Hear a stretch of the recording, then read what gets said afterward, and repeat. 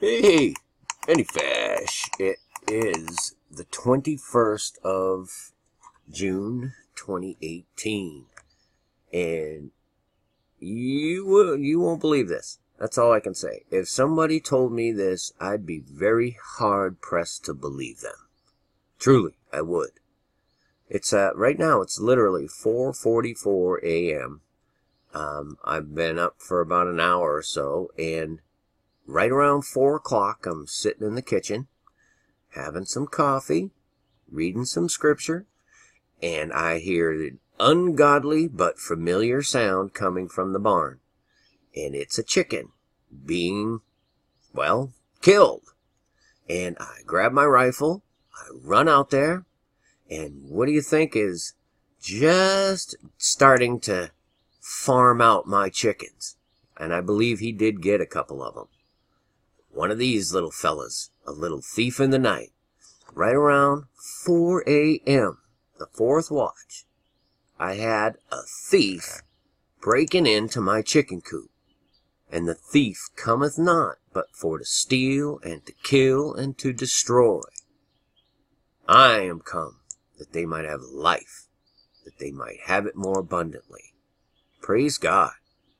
But to have this random, this is just insane stuff, people. I'm just showing you the absolute truth. A random Bible verse. John 10:10. My brother John, if the good man of the house had known what hour the thief would come, right? Well, this, this particular thief, I think he may have gotten a chicken or two. Uh, but 4 a.m., I catch the thief stealing my chickens. And it, that just blows me away, you guys. It just does. We're like two hours away from the summer solstice. And I get a thief in the night. Unbelievable to me and I'm still just trying to like process it all. But I had to show you this. I had to. This is insane, people. Keep looking up. I'm telling you, this means something. At least to me it does.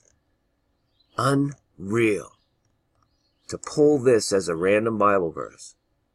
And then to have a little thief in the night on the fourth watch. Try and kill and destroy my chickens. Unbelievable. You want to talk about just, I got goosebumps. But anyway, there's much more to share on this. I got, I'll get back to it later, but keep looking up, folks. I mean, praise God. He has come that he might give life. So seek him. Praise God. Okay? So, peace and grace to y'all. Keep looking up. Many fish. Finally, my brethren, be strong in the Lord, and in the power of his might. Put on the whole armour of God, that ye may be able to stand against the wiles of the devil. For we wrestle not against flesh and blood, but against principalities, against powers, against the rulers of the darkness of this world, against spiritual wickedness in high places. Wherefore take unto you the whole armour of God,